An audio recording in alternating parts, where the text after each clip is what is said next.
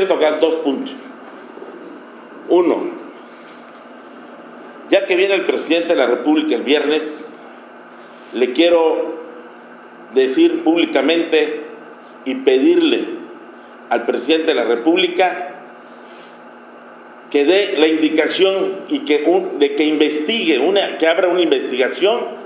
sobre el por qué el comisionado nacional de seguridad, Renato Sales Heredia, recomendó a Sayas para que ocupara el puesto de director de seguridad pública en el municipio del Carmen. Aun cuando la Comisión Nacional de, Derechos Humanos, la Comisión del Distrito Federal de Derechos Humanos, exhortó al alcalde panista de que no lo hiciera, que no lo contratara, el alcalde panista lo impuso porque señaló que era el recomendado del el comisionado nacional de seguridad Renato Sales Heredia. Ese es un punto. Y el segundo punto, ya que viene el presidente de la República, también quiero decirle que Campeche, a 38 años de que se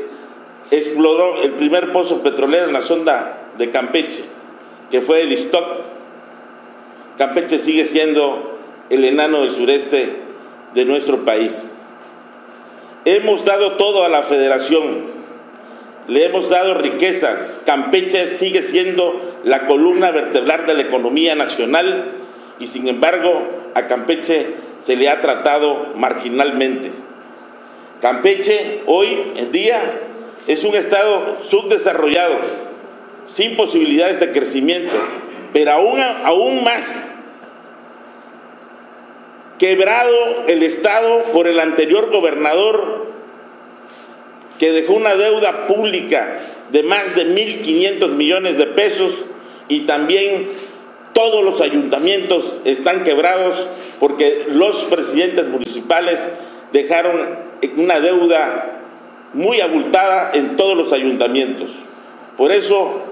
yo le quiero pedir también, ya que viene el presidente de la República,